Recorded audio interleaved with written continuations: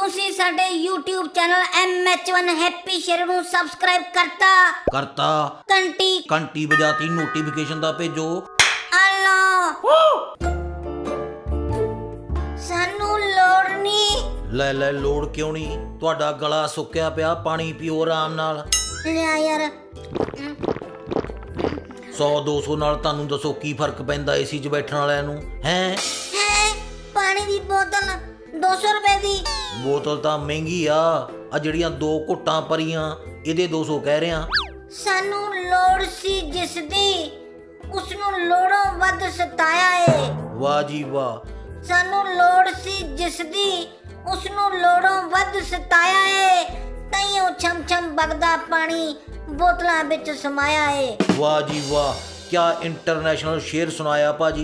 ਖੁਸ਼ੀ 'ਚ ਮੇਰੇ ਵੱਲੋਂ ਪਾਣੀ ਦੀਆਂ ਦੋ ਘੁੱਟਾਂ ਜਮਾ ਫਰੀ। ਠੀਕ ਹੈ ਯਾਰ।